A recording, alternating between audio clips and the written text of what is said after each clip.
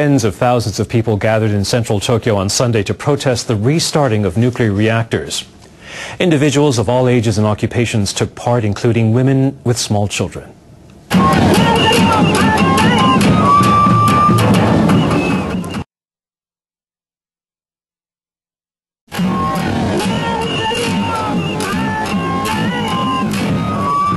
They were protesting the recent resumption of two reactors at the Oi nuclear plant on the Sea of Japan coast.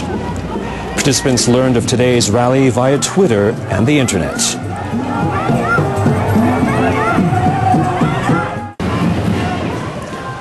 The demonstrators marched to the Industry Ministry building. They called for halting the reactors that resumed operation this month.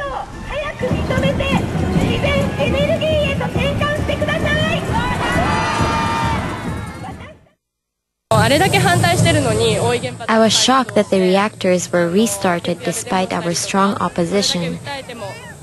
It's time for us to take action against the government.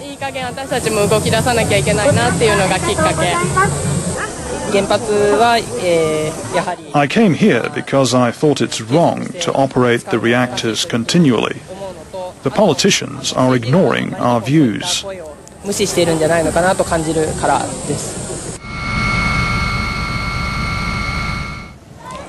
The demonstrators surrounded the Diet building Sunday evening. The organizer says there were 200,000 participants. Police estimate the number at around 14,000. Japan will announce a plan this week to rebuild its slumping economy. The government has come up with a strategy for achieving a growth rate of 3%. The plan covers three sectors, medical and nursing care, energy and agriculture. The government will make funds available for the use of Japanese robot technology in medical and nursing care. Some hospitals began using robots two years ago for treatment and rehabilitation programs. The robots help patients to move their arms and legs by reading the electrical signals sent by muscles. When I started rehabilitation, I could hardly move my legs at all. I hope more robots will be available. I think patients with serious problems may be able to significantly improve their condition. The government will review the medical insurance system to cover the cost of using robots. Officials also hope to establish new markets in the other two sectors. Altogether, it is hoped that these will be worth more than $1 trillion and will create 4.2 million jobs.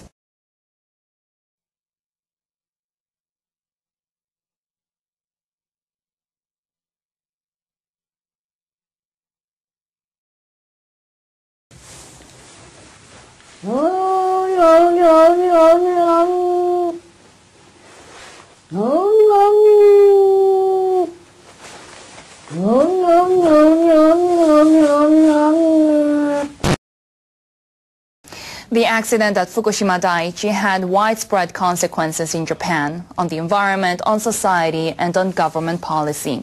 Now we're seeing the impact of the disaster on education. Students are turning away from the field of nuclear science, and just when the industry needs them the most, for the decades-long decommissioning process at Fukushima and to keep an eye on the rest of the country's power plants the Japan Atomic Industrial Forum helps the nuclear industry recruit new workers.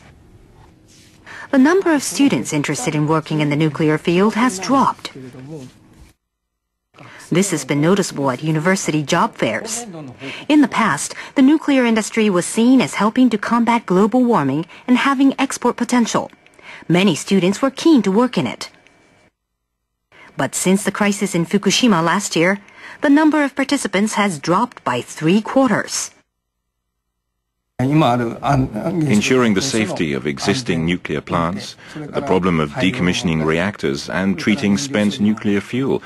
It's clear that we need people to work in this industry, or we will face huge problems.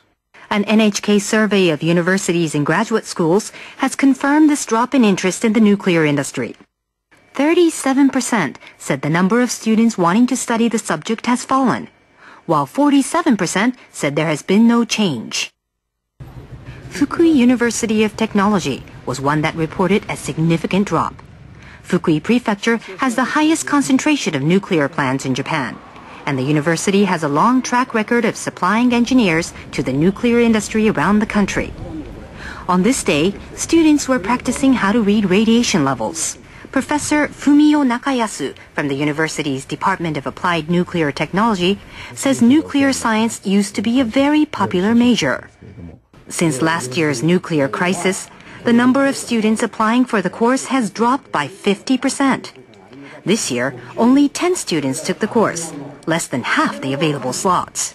At this open campus event held recently, high school students visited other booths, but few visited the one for nuclear studies. Since this department was set up, no student has failed to get a job after graduating because society needs our know-how and skills. In the morning, only four students stopped by the booth. If there are no nuclear power plants operating, there won't be jobs for us. It seems to me that unless Japan's nuclear plants are restarted, there will be fewer jobs. It's probably better to focus on electrical engineering. Increasingly, students are reluctant to work in nuclear power, and that's worrying. If this is only for a few years, it may not have much impact. But if this trend continues for 10 or 20 years, the quality and the number of people working in the industry will drop significantly. The University of Tokyo has long been a training ground for nuclear industry officials, including top policymakers. The university is worried that unless nuclear power feels more relevant to society, students' interest will continue to decline. From this April, the curriculum was revised to include classes in the field of communications. Students are also taught there are serious consequences when technology fails. They will hear from survivors of an airplane crash. The lesson we have learned from Fukushima is that the disaster was caused not only by a failure of technology, but people and society were also at fault. Koichi Kitazawa chaired an independent panel set up to investigate the Fukushima Daiichi nuclear accident. People in Japan have a negative view of nuclear power now, and students cannot override that. This is influencing their decision making, and the number of students applying to study nuclear energy is dropping. Unless the government lays out its plan for the future, no one will be able to see what lies ahead for Japan's nuclear industry. Nuclear technology and radioactive materials aren't just used in power plants. People in the fields of medicine and space development also rely on them. That's why educators and those in the industry say more needs to be done to encourage students to study nuclear science. The March 11th disaster last year resulted in a huge loss of life in coastal areas in northeastern Japan. Evacuation drills are being held across the country to increase awareness of the dangers of giant tsunami. 2,000 people took part in a drill held in Tanabe City in Wakayama, western Japan. They assumed that a massive quake off the Pacific coast had created a 12-meter wave. About 70 people climbed onto the roof of a three-story building. Another 30 fled to a shrine compound 30 meters above sea level. I can run now, but I'm not sure once I get older. I want to use this drill to see how we can achieve a swifter evacuation. The organizers were able to meet their goal of evacuating people within 25 minutes.